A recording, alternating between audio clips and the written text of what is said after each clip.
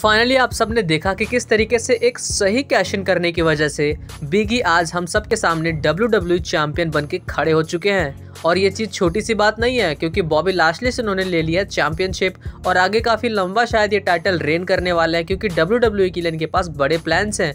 और बहुत सारे डब्ल्यू डब्ल्यू के सुपरस्टार्स बिकी को कांग्रेट्स कहते हुए ट्वीट करते हैं। पहले है सेमी जेन जो कि कहते हैं great moment almost make me for give for that build an entire condo development on my congratulation to at the rate Big E और हमारे जो प्यारे डब्ल्यू डब्ल्यू e खुद हैं, उन्होंने तो अपना नाम ही बदल दिया है। Big E's W W champion Twitter पे कर दिया है और पूरी तरीके से मार्केटिंग और प्रमोशन कर रहे हैं कि बिगी उनके बन चुके हैं न्यू डब्ल्यू डब्ल्यू चैम्पियन काफ़ी अच्छी बात है, देखो। द मैन बेकिलिंच ने भी कहा है कि the best congratulation at the rate W W Big E जिसमें बेकिलिंच काफ़ी क्यूट दिख रही है, पर उस बात को इग्नोर करते हुए बेली अपना और बिगी का एक गिफ्ट भेजते हुए ये कह के लिखती है, यानी कि खुश है वो कि finally we new W W champion बन चुके हैं।